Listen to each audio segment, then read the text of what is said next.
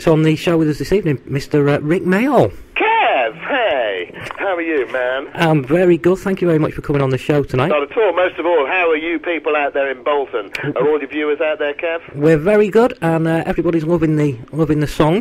which Really? Which is, no, course, my noble England. no, Noble England. That's Well, the reason that we're here. Well, it's a very important event, this. This is more important than usual. Think, hey, why is the Wildcat Anarchy King, Rik, doing a football single? Well, I'll tell you why. It's very unusual.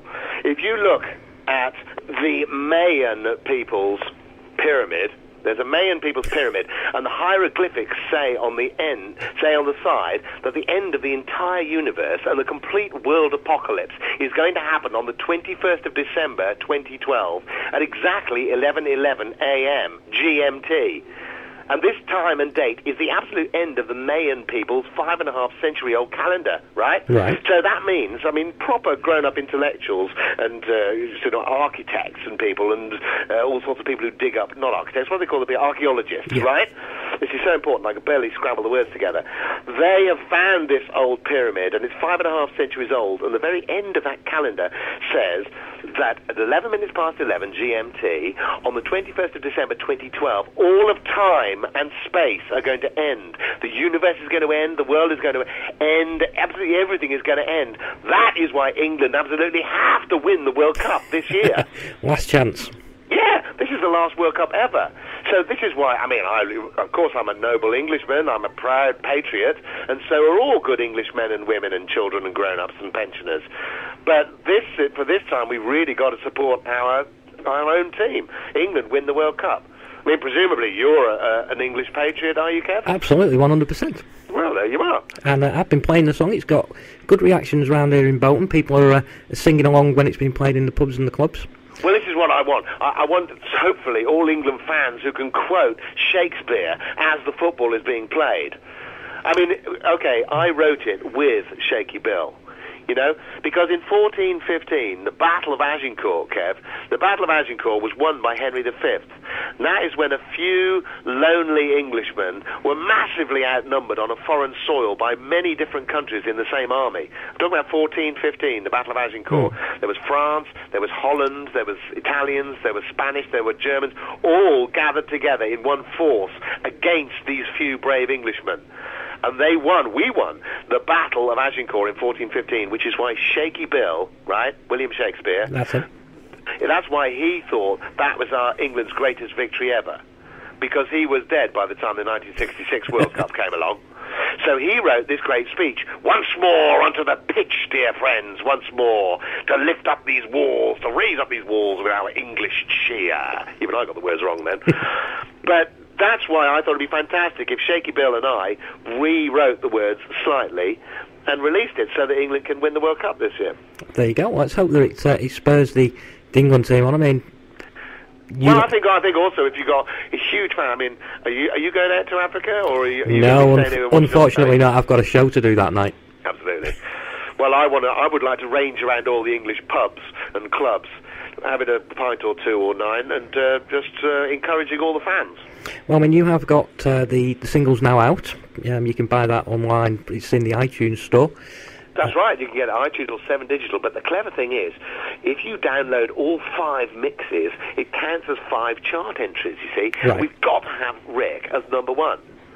It's just a shame we don't still have Top of the Pops. I'd love to see you perform on Top of the. Pops.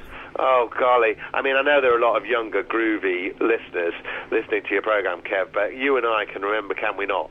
Pan's People. Absolutely, and hot gossip. Oh, hot gossip.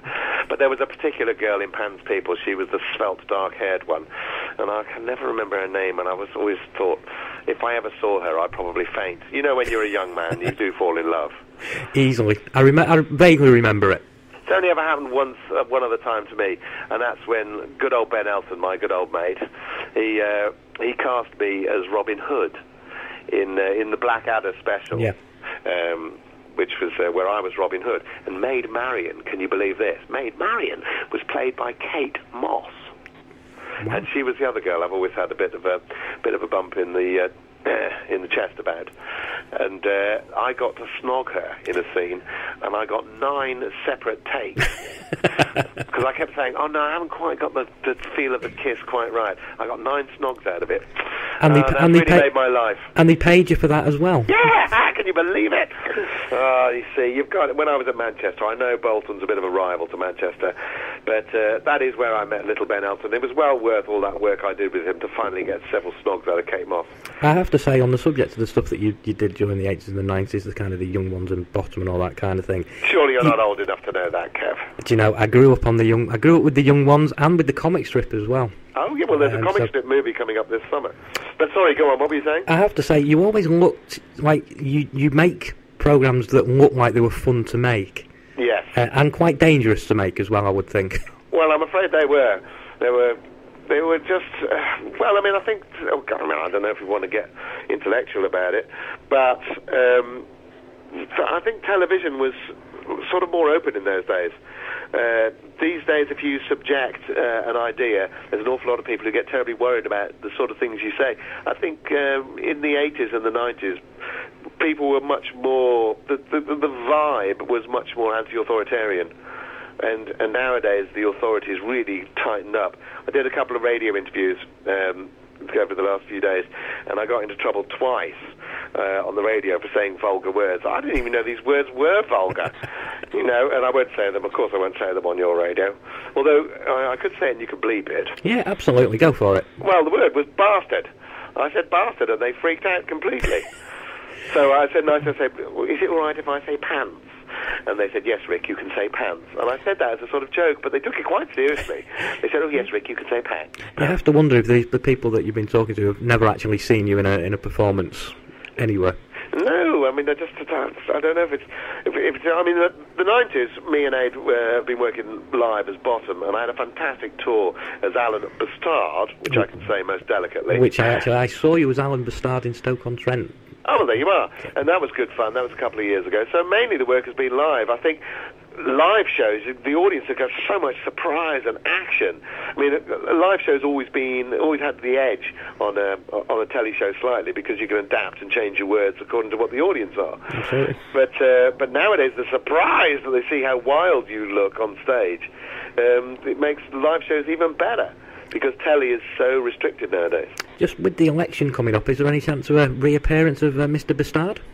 Well, I thought if there's an election coming up, people are so cross-eyedly angry and bored about the whole thing. Look, we have a magnificent, battered, bankrupt old country in England that we all love so much. Yeah. And the time has surely come, rather than just piddling around with deciding who's going to win the election, what we need is a real leader and love for our country to be reflected in something. And that's why another reason why I think bringing out Noble England as a single is such a good idea. Henry V gave a great speech once more onto the pitch, dear friends. And I think that spirit, here's our real leader. Yeah. It doesn't matter whether it's Conservative or Labour or Liberal Democrat or what. The real leader is the English football team.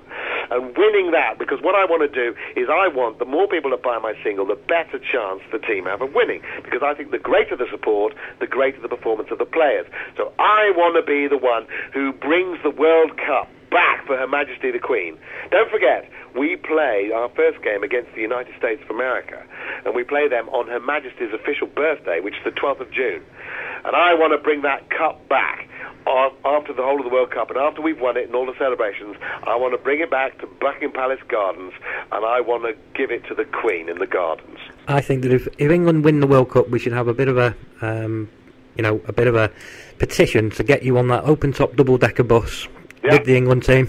That's where I'd like to be. And it's only your listeners, Kev, who can make that happen by buying the single. I mean, this isn't all that I want to be a big, famous, pan-global phenomenon. I already am a big, famous, pan-global phenomenon.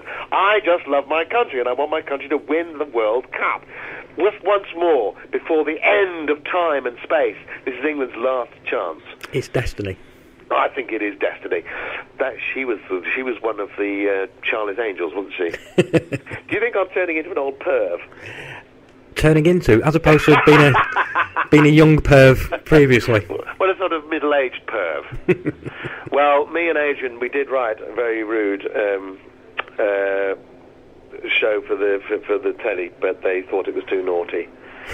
So there you go. People are always saying, when's Bottom coming back? I mean, we can't go on telling the same jokes, can we? So we had Richie and Eddie in very different circumstances, and they didn't like that at all, I'm afraid. So it's not me and Ed not wanting to work, it's the fact that uh, the telly people just think we're too naughty. On the subject of Ade, I mean, is there a chance that we're going to hear Noble England played on a medieval lute?